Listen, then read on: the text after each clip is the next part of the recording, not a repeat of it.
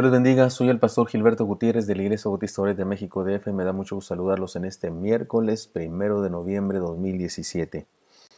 Seguimos adelante con el Salmo 142, es la tercera parte. Crisis, una oportunidad para crecer en fe. En el título de la Biblia dice petición de ayuda en medio de la prueba, masquil de David, oración que hizo cuando estaba en la cueva. Este salmo sapiencial, eso significa masquil nos enseña algunos principios para aprovechar las crisis para crecer. David lo escribió en medio de la persecución que sufría por causa de la envidia y la maldad del rey Saúl. Se trató de un tiempo de prueba que le requirió paciencia, valor, fe y esperanza. Ya hemos dicho que en todo el Salmo encontramos cuatro principios para crecer, en fe, en medio de la crisis, decidirse, descubrirse, derrotarse, definirse. Hoy nos corresponde abordar este concepto derrotarse la acción de declararnos incompetentes y profundamente necesitados delante de Dios.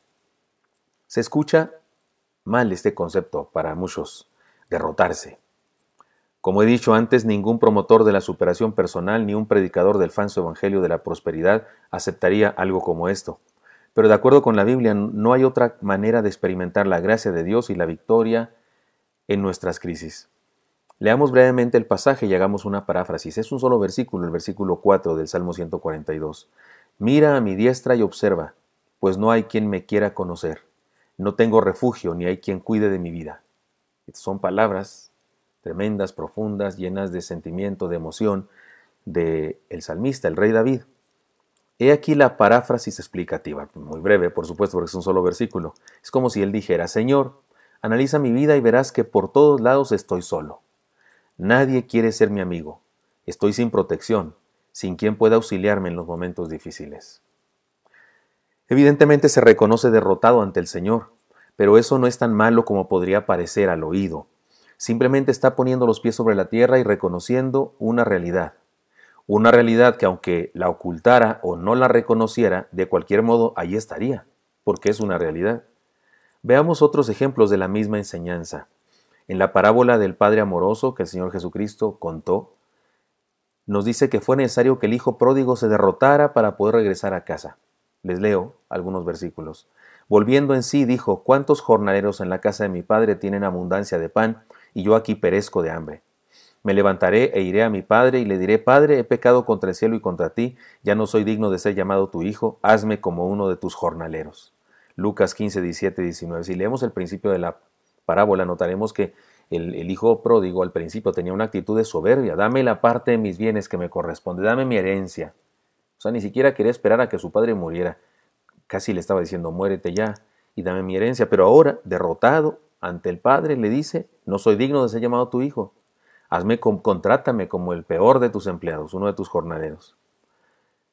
Otro ejemplo, Pablo también se derrota ante el Señor y acepta su aguijón en la carne. Miren cómo dice la palabra y para que la grandeza de las revelaciones no me exaltase desmedidamente, me fue dado un aguijón en mi carne, un mensajero de Satanás que me abofetee, para que no me enaltezca sobremanera. Respecto a lo cual tres veces he rogado al Señor que lo quite de mí, y me ha dicho, bástate mi gracia, porque mi poder se perfecciona en la debilidad. Por tanto, de buena gana me gloriaré más bien en mis debilidades, para que repose sobre mí el poder de Cristo. Por lo cual, por amor a Cristo, me gozo en las debilidades, en afrentas, en necesidades, en persecuciones, en angustias, porque cuando soy débil, entonces soy fuerte. Segunda los Corintios 12, 7 al 10. ¿No es cierto? Se derrota ante, ante Dios, ante su situación. Ya sé que Dios no me quiere responder esta oración, no más.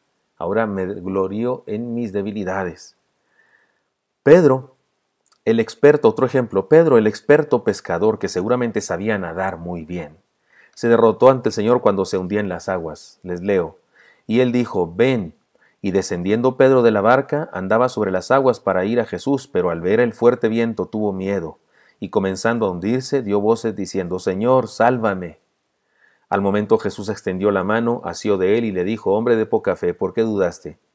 Y cuando ellos subieron a la barca, se calmó el viento. Entonces los que estaban en la barca vinieron y adoraron diciendo, verdaderamente eres hijo de Dios. Mateo 14, 29 al 33. Señor, sálvame. Es un experto pescador. Sabe del mar, sabe de esas cosas. Y, y se está hundiendo en el agua. Jesús es un carpintero. Y sin embargo, Pedro se reconoce derrotado ante la circunstancia y clama al Señor.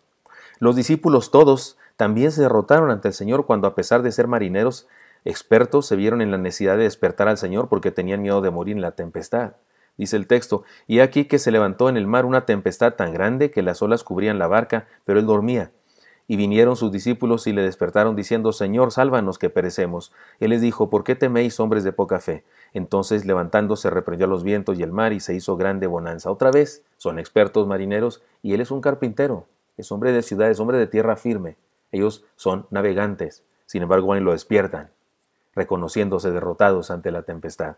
Y el Señor se levanta y calma la tempestad. Job, después de haber cuestionado a Dios por la desgracia que le acontecía, finalmente se humilló y se derrotó ante el Señor. ¿Recuerdan?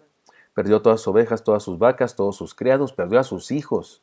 Y además de la bancarrota absoluta, tenía una enfermedad, le dio una enfermedad, una especie de sarna, que le hacía estarse rascando con un tiesto día y noche. No podía dormir y reclamó a Dios, ¿por qué me pasa esto? No soy tan malo, hay otras personas más malas que yo, cosa típica que hacemos los seres humanos. Y reclamaba al Señor, ponme en balanza y notarás que soy mejor persona que otros. Pero finalmente Dios se le aparece y miren, miren su experiencia de derrota ante sí mismo, ante Dios, ante las circunstancias. Respondió Job a Jehová y dijo, yo conozco que todo lo puedes y que no hay pensamiento que se esconda de ti. ¿Quién es el que oscurece el consejo sin entendimiento?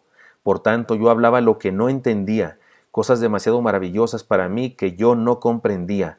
Oye, te ruego, y hablaré, te preguntaré y tú me enseñarás. De oídas te había oído, mas ahora mis ojos te ven, por tanto me aborrezco y me arrepiento en polvo y ceniza. Este, es, este pasaje está en Job 42, versículos 1 al 5, está clarísimo. Luego entonces derrotarse no es malo. De hecho es indispensable para experimentar la gracia de Dios. Permítame un ejemplo que ya hemos puesto antes. Un fisicoculturista, es decir, un hombre muy grande y fuerte, se cayó en la alberca y no sabía nadar. Se estaba ahogando y el salvavidas solo lo miraba desde la orilla. Tírese a sacarlo, le decían todos, pero él solo observaba. Cuando el hombre en la alberca se había esforzado tanto por salvarse sin conseguirlo, finalmente se desmayó y fue ahí cuando el salvavidas se lanzó al agua y lo sacó. Le dio los primeros auxilios correspondientes y le salvó la vida. Ante la pregunta ¿por qué no se lanzó antes? El salvavidas respondió porque nos hubiéramos ahogado los dos. Un hombre tratando de salvarse no puede ser salvado. Pero cuando se ha derrotado y ya no hace nada por salvarse, entonces es candidato para ser salvado. Hermanos y amigos, hay ocasiones en las que hace falta que hagamos algo, que digamos algo, que luchemos, que derribemos puertas, que pongamos toda nuestra fuerza y empeño. Pero hay otras en las que por más que lo hagamos, todo eso que decimos, no conseguiremos nada.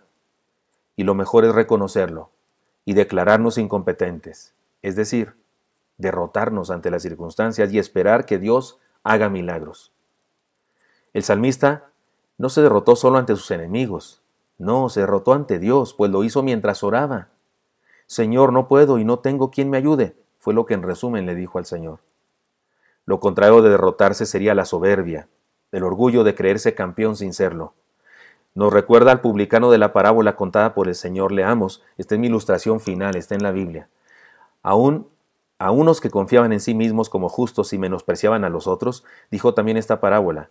Dos hombres subieron al templo a orar, uno era fariseo y el otro publicano. El fariseo puesto en pie oraba consigo mismo de esta manera, Dios, te doy gracias porque no soy como los otros hombres, ladrones, injustos, adúlteros, ni aun como este publicano. Ayuno dos veces a la semana, doy diezmos de todo lo que gano, mas el publicano estaba lejos, no quería ni aún alzar los ojos al cielo, sino que se golpeaba el pecho, diciendo, Dios, sé propicio a mí, pecador. Os digo que éste descendió a su casa justificado, antes que el otro, porque cualquiera que se enaltece será humillado, y el que se humilla será enaltecido. Más claro ni el agua, ¿no? Aquel que se creía algo y se enaltecía fue humillado. Aquel que se humilló, es decir, se derrotó ante el Señor, fue enaltecido. Reconozcamos nuestra derrota ante el Señor y, diga, y dejemos que nos inunde su gracia, nos transforme y nos convierta en más que vencedores. Espero que esta sea útil para usted y me encantaría encontrarme el día de mañana. Hasta pronto.